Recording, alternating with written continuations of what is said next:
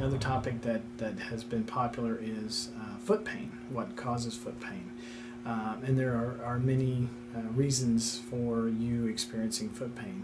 Uh, one of which is um, uh, the, again, uh, the mechanics of your feet. If, if you are losing the arch that you normally have, if it's falling, it's pulling on the back of the calcaneus bone.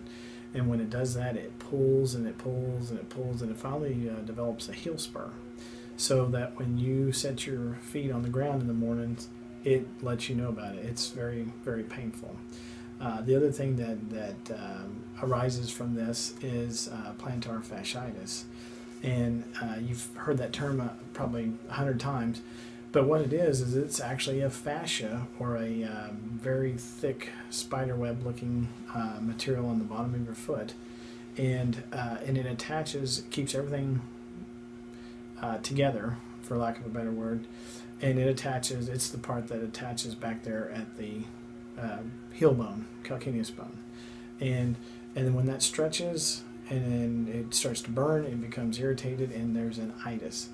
So if you're experiencing any of these things, give me a call. It's free consultation, 816 228 5522. Thanks.